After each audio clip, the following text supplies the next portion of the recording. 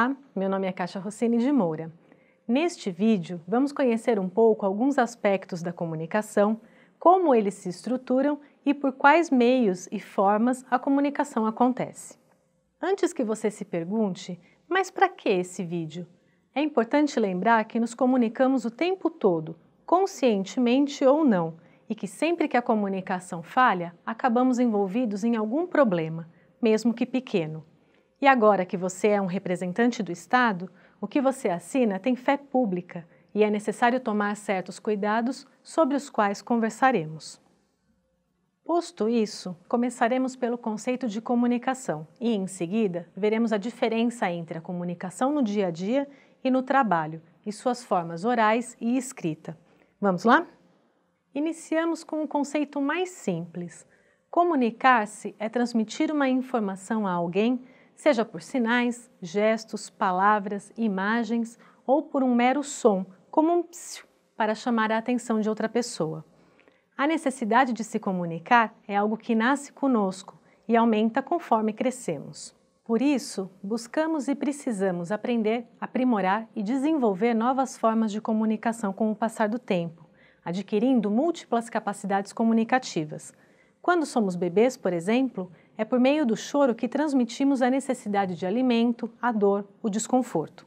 Na infância, os desenhos nos ajudam na expressão de sentimentos. Na escola, aprendemos um novo modo de traduzir nossas ideias, a escrita. E, por fim, a comunicação escrita torna-se na vida adulta nossa principal ferramenta de comunicação. Mas, mesmo sendo tão importante, nem sempre nossa formação é adequada para que saibamos utilizá-la o tempo todo com naturalidade. Dessa dificuldade podem surgir traumas de escrever.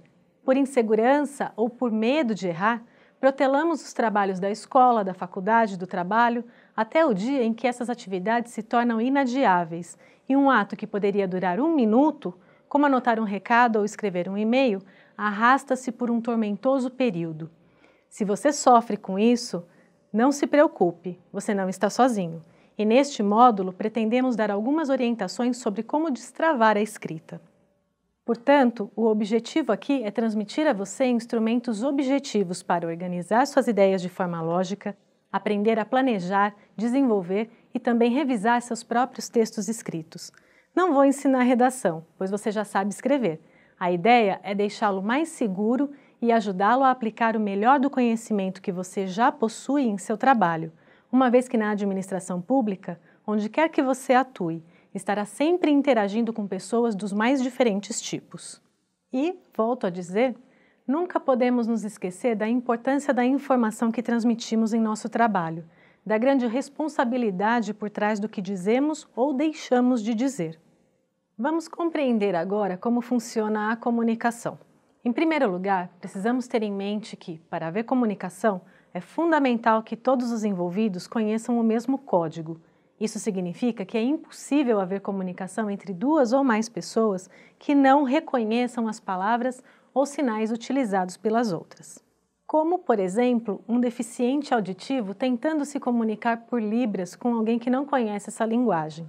A mesma situação pode ocorrer se um profissional muito competente e com profundo conhecimento em sua complexa área de atuação tentar explicar a seu filho pequeno as atividades que realiza no trabalho. Nesse caso, ambos falam a língua portuguesa, porém, se o pai falar com o filho como fala com os colegas de trabalho, em vez de utilizar as palavras conhecidas pelo filho, a criança simplesmente não compreenderá.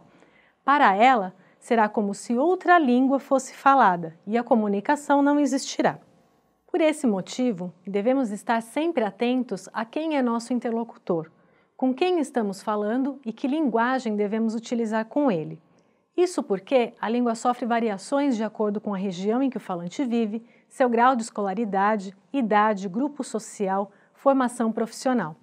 Precisamos ainda saber se poderemos utilizar termos mais técnicos ou se teremos que utilizar uma linguagem mais simples. O bom comunicador tem que ser um poliglota na própria língua, como bem declarou o grande mestre da língua portuguesa, Evanildo Bechara, querendo dizer que a língua tem múltiplas formas dentro de si mesma e que não existe o certo ou o errado de forma absoluta, mas sim o adequado e o não adequado, de acordo com o momento de comunicação. Se o momento é informal, o correto é ser informal. Se o momento é formal, então precisamos ser formais. Cabe a quem produz o texto perceber qual é o momento e utilizar a língua adequada para ele. Voltaremos a isso daqui a pouco. O próximo passo no nosso estudo é analisarmos o esquema da comunicação. Ele nos mostra uma espécie de fotografia do ato comunicativo. De um lado, temos o emissor, aquele que produz uma fala ou mensagem, e de outro, o receptor ou destinatário, que, como o próprio nome sugere, é aquele a quem a mensagem se destina. É importante notar que, para a informação chegar ao destinatário, o emissor precisa fazer o processo de codificação, ou seja, transformar suas ideias em uma sequência organizada de palavras que seja reconhecível por seu interlocutor, também chamada de código. Essa informação, o conteúdo da mensagem, transitará por uma via que chamamos de canal de comunicação, que pode ser, por exemplo, a fala, no caso de um diálogo, ou um bilhete, na modalidade escrita. Enfim, ao chegar ao receptor, este fará o processo de decodificação, tornará aquela sequência organizada de palavras novamente em ideias. O mecanismo é bem este. O indivíduo transforma algo abstrato, suas ideias, em algo concreto, as palavras. Transmite esse conteúdo por um meio e, chegando ao destino, o outro indivíduo, ele refaz a tradução dessas palavras, o concreto, novamente em ideias, abstrato. Quando esse fluxo se completa, dizemos que ocorreu comunicação. Aí o esquema se fecha. Temos quem fala, quem ouve, um conteúdo vertido em um código e transmitido por um meio. Pode parecer complicado, mas essa parte nosso cérebro faz automaticamente. Assim que aprendemos a nos comunicar, passamos o tempo todo recebendo e fornecendo estímulos e nos comunicamos de vários modos diferentes sem perceber. E na hora de escrever um texto, esse processo também pode ser indolor. Depende de atenção e treino. Mas aí você me diz, Kátia, escrever é muito mais complicado que isso. Às vezes eu não sei nem por onde começar. Mas saiba que há técnicas e práticas para tornar a escrita mais objetiva e simples. Agora, porém, vamos falar um pouco mais sobre aquela ideia do professor Bechara sobre ser poliglota na própria língua. Como já disse, se olharmos nosso cotidiano, veremos que estamos o tempo todo nos comunicando, conversando, mandando mensagens, lendo, vendo fotos, placas de sinalização, ouvindo músicas, que nada mais são do que a exposição do pensamento de alguém. Essas interações ocorrem em casa, no trabalho, na rua, com gente que conhecemos ou não. Assim, nem percebemos o quanto somos amorosos no trato com quem é familiar e amigo, o quanto somos mais formais com pessoas no trabalho, ou como somos mais diretos com um estranho que nos pede uma informação. A língua portuguesa é a mesma em todas essas situações, mas a maneira de expressá-la não. Se alguém fura a fila na sua frente, dificilmente você dirá com voz doce: Não faz isso, meu amor, esse lugar é meu. Provavelmente será algo mais próximo de: Ei, mal educado, respeite a fila.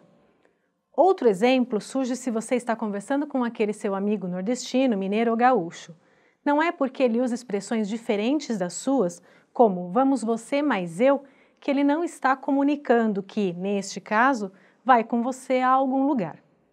Devemos perceber, porém, que em uma conversa informal, um desentendimento pode ser rapidamente consertado, mas em uma informação ao público, por exemplo, a má compreensão por parte da população pode trazer consequências bem sérias, como prejuízo ao contribuinte se ele não compreender que deveria ter pagado o imposto no prazo determinado. Por isso, precisamos ser muito claros. Precisamos ter a certeza de que nosso texto diz exatamente o que temos em mente, no tempo certo e de forma que nosso público possa compreender. Ou seja, a codificação deverá ser realizada por você com perfeição e eficácia e a mensagem transmitida ao seu interlocutor com eficiência sem margem para dúvidas. Assim, a comunicação entre profissional e usuário se completará. Para garantir isso, é fundamental conhecer a diferença entre fala e escrita, formalidade e informalidade, e saber o momento de utilizar cada uma dessas modalidades, como se fossem línguas distintas para pessoas ou situações diferentes. Tudo isso é o que fará de nós poliglotas na nossa própria língua. Vamos então fazer a distinção das quatro principais modalidades de texto usadas: texto oral formal, oral informal, escrito formal e escrito informal. Comecemos pelo discurso falado. Ele se apresenta tanto em momentos informais, em conversas cotidianas com amigos ou parentes, como em situações formais, como entrevistas, depoimentos, discursos, atendimento a clientes por telefone ou presencialmente, entre várias outras. A oralidade permite um contato mais direto com o interlocutor, facilitando, por vezes, a comunicação. Se a pessoa com quem você fala não estiver compreendendo, ela geralmente terá a oportunidade imediata de fazer perguntas e esclarecer suas dúvidas. Na informalidade, é permitido o uso de gírias e regionalismos, expressões próprias de uma localidade. Cria-se dessa forma certa empatia com quem ouve. Na formalidade, é preciso evitar esses modos de falar que possam confundir o ouvinte, impedi-lo de compreender com exatidão o sentido do que é falado. O elemento mais importante não é quem fala, mas sim o que é dito. Portanto, no ambiente de trabalho, procuraremos sempre nos comunicar na formalidade. O discurso escrito também possui a formalidade e a informalidade como duas variantes. A escrita informal é utilizada quando enviamos mensagens a pessoas afetivamente próximas, e-mails pessoais, recados de geladeira, bilhetes de amor. Mas, novamente, no trabalho, deve-se privilegiar a modalidade formal. Tal como na fala formal, na escrita, o texto deve ser direto, o mais objetivo possível, sem o uso de regionalismos, gírias ou expressões que possam dificultar a compreensão por qualquer pessoa que o leia. E, independente do assunto, a cordialidade, atenção e respeito devem imperar.